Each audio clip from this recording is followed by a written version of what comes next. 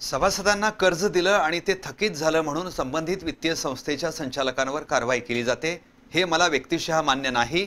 कर्ज देण्यासाठी बँका आणि पतसंस्था अस्तित्वात आहेत. त्यामुळे संचालकांवर कारवाई करणं किंवा राजकीय मतभेदातून संस्था बरखास्त करणं या प्रकारांना आळा बसण्यासाठी आपण सत्तेत असताना जाणीवपूर्वक प्रयत्न केले असं प्रतिपादन राष्ट्रवादीचे अध्यक्ष खासदार शरद पवार यांनी केलं.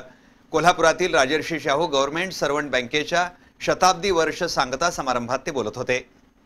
दूरदृष्टीचा जाणता राजा राजर्षी शाहू महाराज आणि नामदार भास्करराव जाधव यांच्या पुढाकारानं स्थापन झालेल्या शासकीय नोकरांच्या पतपेढीचं गव्हर्नमेंट सर्वंट बँकेत रूपांतर झालं आणि या बँकेनं शंभर वर्षांचा प्रवास यशस्वीरित्या पूर्ण केला.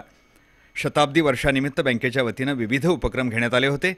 शताब्दी वर्षाचा सांगता समारंभ आज पार पडला. राष्ट्रवादीचे अध्यक्ष खासदार शरद पवार श्रीमंत शाहू महाराज खासदार धनंजय महाडिक आमदार सुनील तटकरे आमदार हसन मुश्रीफ माजी खासदार निवेदिता माने माजी आमदार प्रकाश आवाडे के पी पाटील प्राध्यापक संजय मंडलिक या मान्यवरांच्या उपस्थितीत हा सोहळा संपन्न झाला. शंभर वर्षांच्या वाटचालीचा आढावा घेणाऱ्या स्मृती ग्रंथाचं प्रकाशन मान्यवरांच्या हस्ते झालं. तर बँकेच्या नूतनीकरण केलेल्या इमारतीचं उद्घाटन रिमोटद्वारे खासदार शरद पवार यांनी केलं.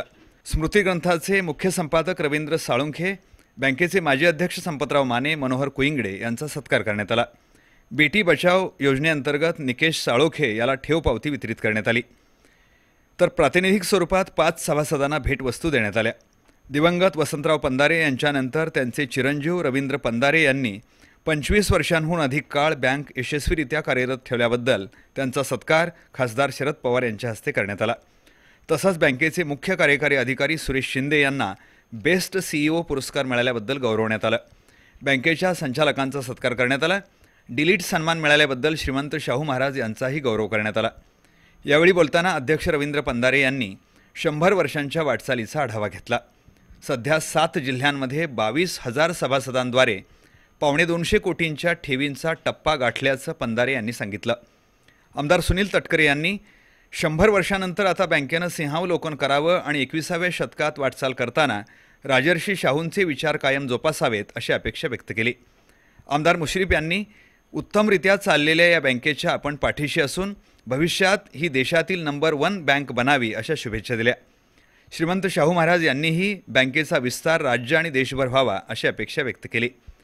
खासदार शरद पवार यांनी बोलताना बँकेच्या शंभर वर्षांच्या वाटचालीत योगदान देणाऱ्या सर्व घटकांचं अभिनंदन केलं. थकीत कर्जदारामुळं संचालकांवर कारवाई केली जाते हे आपल्याला व्यक्तिशः मान्य नाही असं ते म्हणाले. एकोणीसशे अठ्ठ्याहत्तर साली आपण मुख्यमंत्री असताना केंद्राच्या वेतनाबरोबरच राज्य सरकारही वेतन आणि भत्ते देईल असा कायदा केल्यामुळं बँकांना त्याचा फायदा झाला. तसंच मुलींना अकरा टक्के जागा संरक्षण खात्यात देण्याचा आपण निर्णय घेतला समाजातील पन्नास टक्के महिला निर्णय प्रक्रियेत आल्या पाहिजेत यासाठी आपण जाणीवपूर्वक प्रयत्न केल्याचं त्यांनी सांगितलं. सह्याद्रीच्या काळ्या पाषाणाप्रमाणे आपण बँकेच्या पाठीशी राहू अशी ग्वाही त्यांनी दिली. या प्रसंगी बँकेचे उपाध्यक्ष राजेंद्र पाटील संचालक एम एस पाटील यांनी मनोगत व्यक्त केलं. विविध क्षेत्रातील मान्यवर यावेळी मोठ्या संख्येनं उपस्थित होते.